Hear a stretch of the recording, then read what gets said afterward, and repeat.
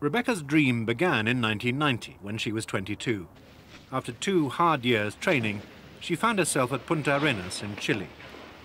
The expedition members unloaded the canoes in a warehouse owned by the Chilean Navy. Rebecca Ridgway has an advantage over other similarly ambitious young women. Her father, and the leader of the expedition, is John Ridgway. He's sailed non-stop round the world and is a veteran of many other adventures. The key figure in this expedition is Nigel Dennis, Britain's leading sea canoeist. His experience will be invaluable to the other members. What I'm going to do now is just to brief us on what everybody's role is so that everybody was all here and knows what it is they're doing. The aim is to support Rebecca in her attempt to become the first girl to canoe around Cape Horn. John Ridgway, expedition leader, strategic control of the whole expedition. Nigel Dennis is the lead canoeist and will be responsible for the safety of the canoeists with particular reference to Rebecca. This is my seventh expedition that I've led to South America. It took 92 days to row across the Atlantic, 203 days to sail non-stop around the world, and I expect the unexpected.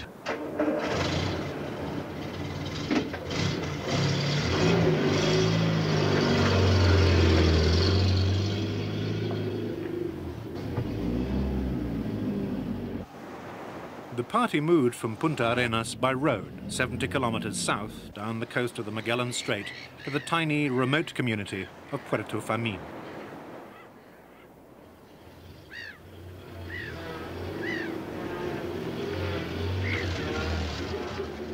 There they were to meet the support boat, which would launch them on their long paddle. They unpacked the food and equipment they'd need for the trip, and in due course the boat, the Compass Rose, arrived.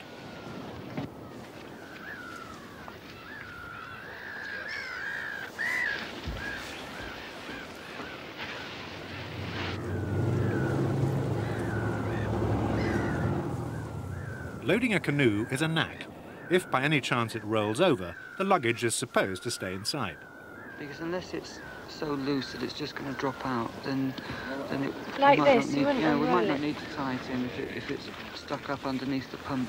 Mm. Do you get what I mean?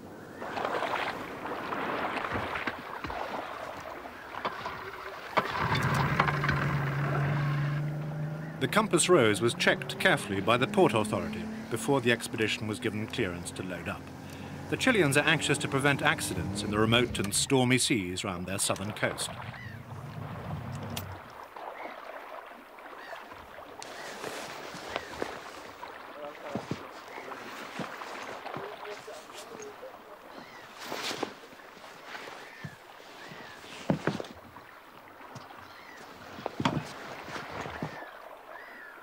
At last, the time came to load the canoes on the support boat to sail to the starting point of the trip. A fully loaded single kayak, six meters long, weighs 50 kilograms.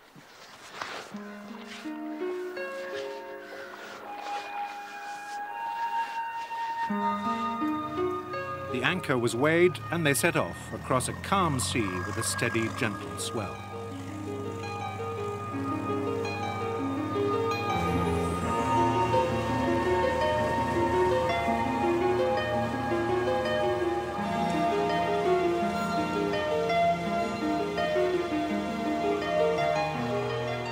Thirty-six hours later, they searched for the narrow inlet where the expedition would take to their canoes.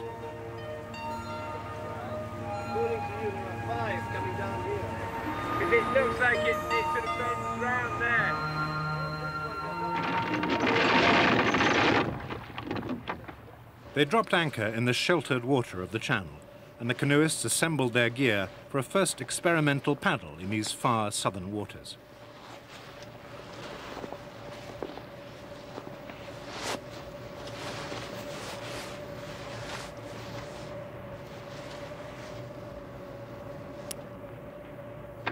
From here on, the canoes would no longer be carried on board.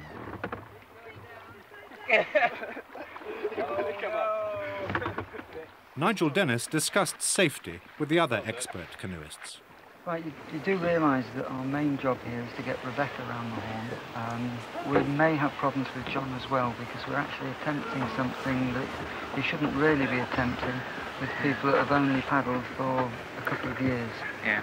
Um, so we're going to have to do rescues pretty quickly.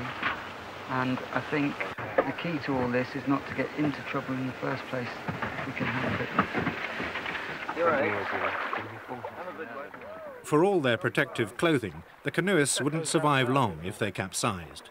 The icy water takes effect by chilling the brain to the point at which the victim offers no further resistance to the embrace of the ocean.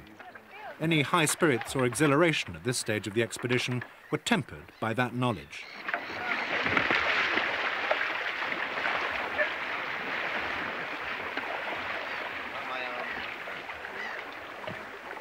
Chris, there's a rock in front of you.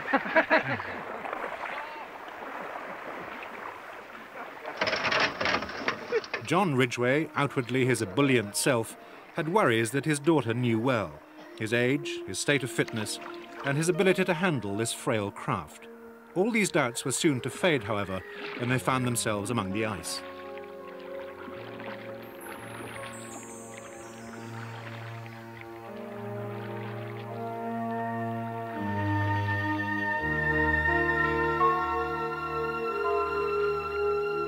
The glass fibre skin of the canoes is only a couple of millimetres thick.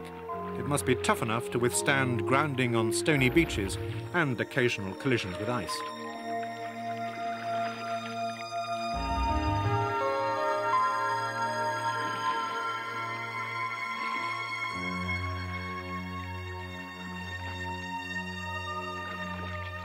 Paddling tentatively in the calm water, even the leader soon forgot his worries, uplifted by the beauty that surrounded the canoeists.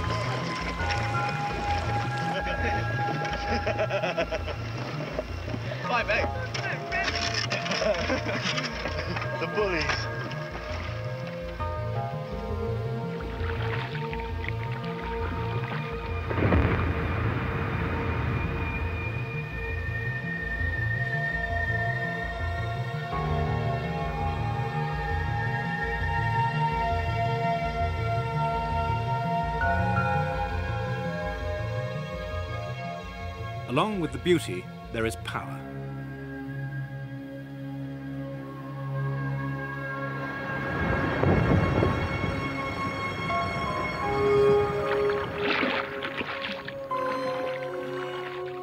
Then it was time for the first full day of the 400 kilometre paddle.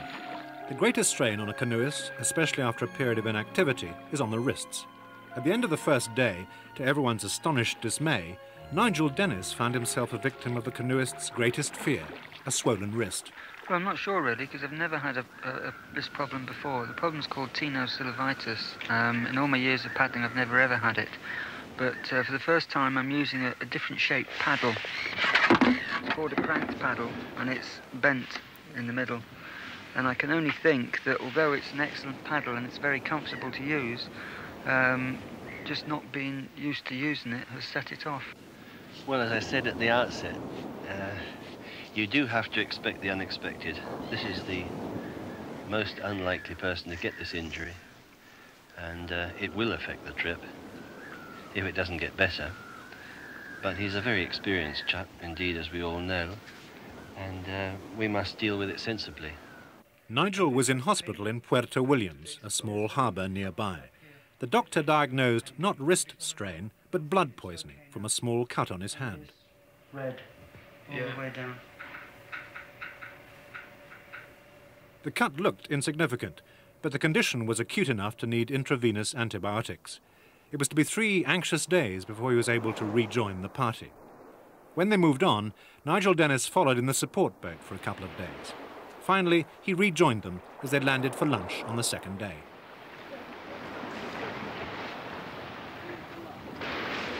How was it coming ashore? All right, just a, a little bit uh, sore, but I think Is it? it'll be okay. Just taking it very slowly. Yeah. I suppose if worse, you could do it with the other hand as well. It's uh, still a little bit sore. It's, it's gone Doesn't down. look just- not nearly as swollen, is it? No, Doesn't it? There's no red there really now. no. That's good. So just keep the fingers crossed. The weather was still fairly calm, if cold and damp. The accommodation and the diet were both basic, not to say Spartan, on the small wooded islands where they broke their journey. Weather forecasts from the Met Office at Bracknell in England were uniformly gloomy. The evening sky was threatening. The next leg of their journey was to take them across the open sea. Well, it's really a gamble against the weather because um, if the wind picks up like some of the every day we've had a forecast of four, six, seven, eight, nine, and ten. But but there are some things that we can do to minimise it. Like uh, hopefully we'll get on the water for sort of half three, four o'clock. Morning, guys. The crossing, about 35 kilometres, should take six hours. Time enough for the benign weather of the early dawn to turn into something quite different by midday. Compass Rose is Rockwater 3. It's uh, 3.30 in the morning. The weather looks good. We're going to attempt the crossing. See you shortly. Steady night.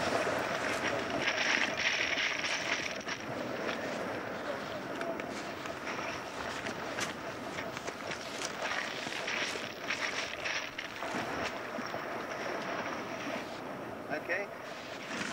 For John and Rebecca Ridgway, the least experienced members of the group, this would be the first real test. Once out on the open water, they would be at the mercy of the weather. And, as usual, the forecast was bad.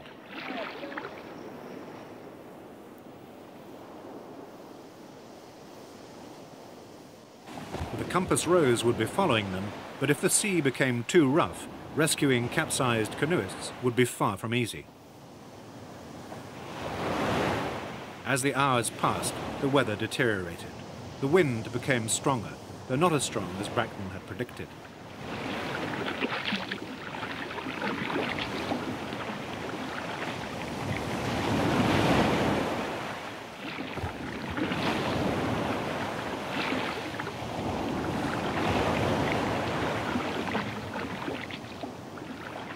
In mid-channel, in worsening conditions, the experts kept an anxious eye on their less experienced charges.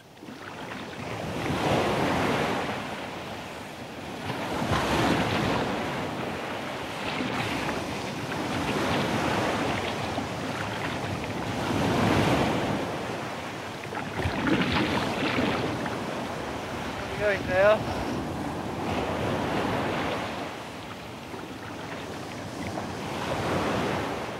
As the further shore came into view, they struggled on in a cold, grey and threatening sea. From time to time they rested, holding the canoes together in a raft for stability.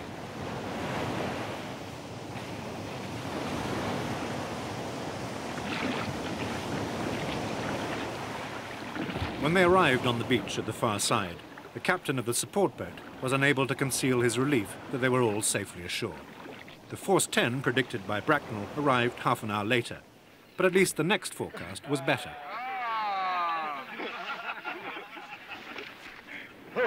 No, no, no, no.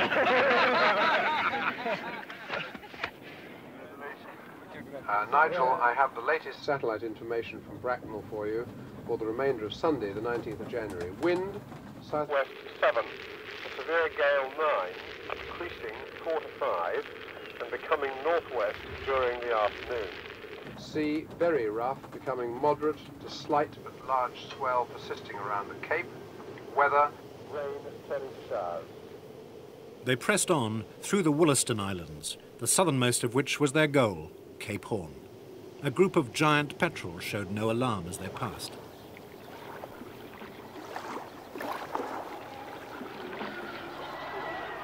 Ghostly wailing sounds coming from a cave proved to be the calls of a tribe of sea lions.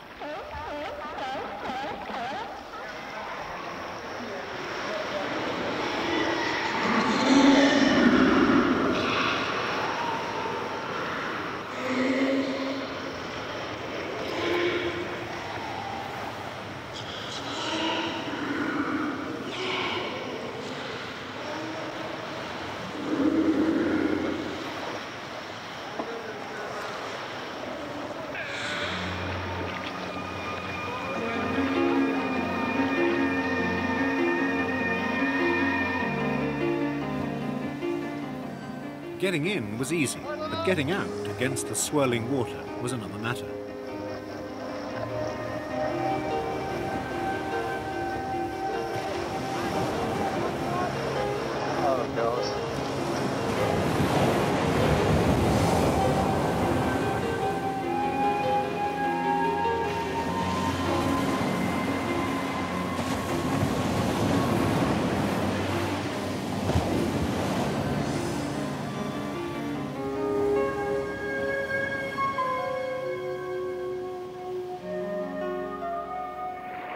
But there were consolations.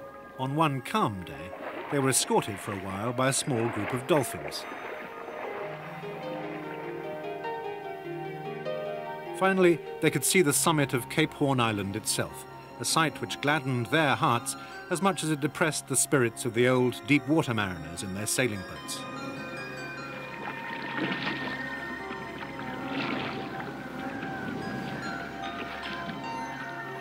There are very few landing places on Cape Horn Island. On the eastern side, there's a small rocky inlet at the foot of tall cliffs. Here they paused to gather their forces for the final assault. Two of them had been here before.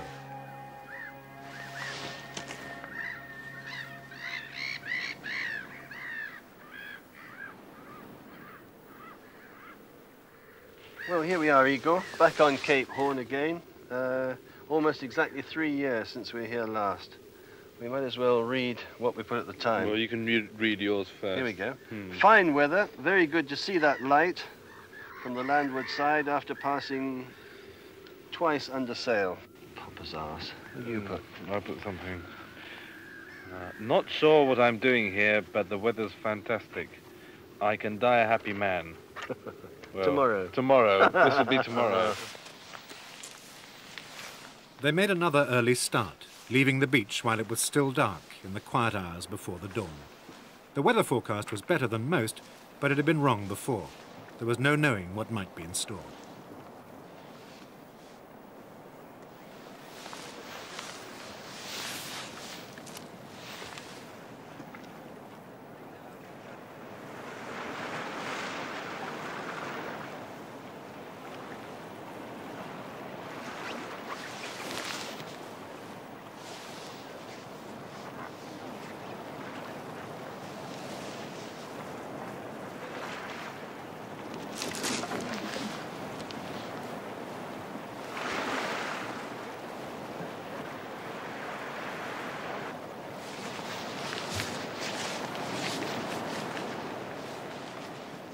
For Rebecca, this was the culmination of two years training and planning, pushing off a foreign beach into the darkness of a forbidding ocean.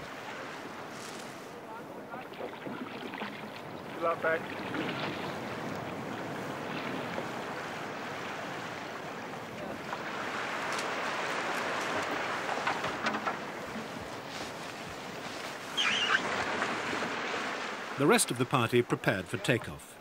Soon they were all gathered into a flotilla, including John Boyce, the all-important cameraman who was to record the event for the world. Let it lie over to the right like this.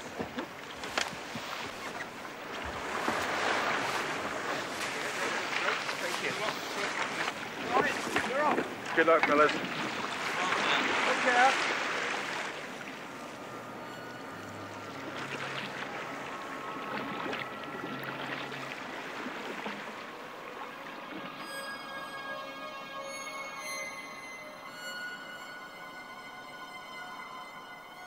As dawn came up, the sea was kind on this lee side of the island. Round to the northwest lay the unknown, where wind and tide could be making life difficult for small craft.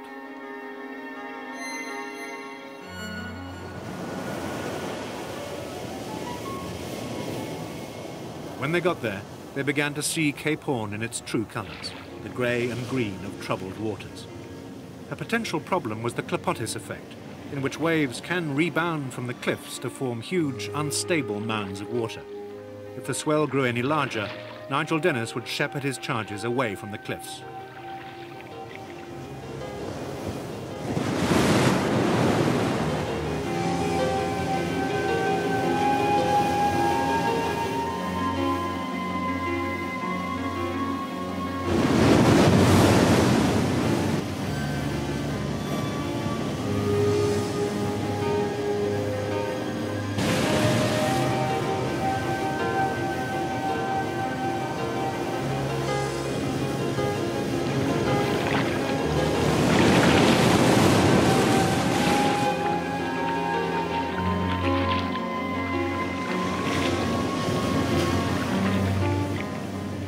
Only near disaster happened to the camera boat, while John Boyce was filming and his paddler, Chris Unsworth, was handling the craft alone. Fortunately, the camera kept running.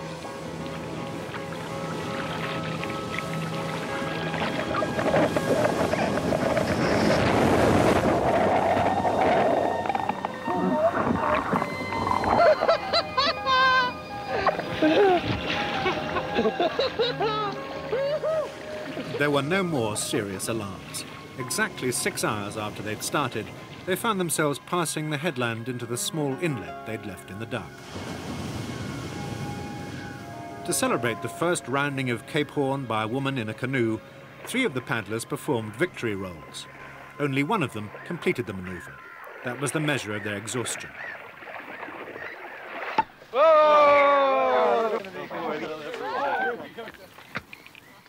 Among the champagne and the cheers, all the canoeists were aware that luck had played its part in their success, as well as planning, training, and sheer determination. Their feelings were mixed as they looked their last on these dark, brooding waters. For Rebecca Ridgway, it was the culmination of a dream, a peak in her life. Her father was proud of Rebecca's achievement, but was sorry to come to the end of their great adventure. It's just that it's rather sad, you know, that it's come to an end and that travelling hopefully is always better than arriving. And it was a really good idea, and um, and now it's over.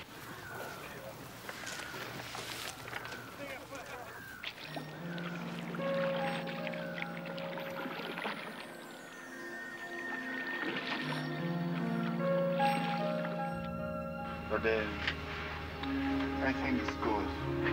Maybe we have a problem with the sargassos and the rocks. But Tasty? free ice lemon. Tasty, tasty, very How good. old- how old is that? How old? I don't know. It's very old.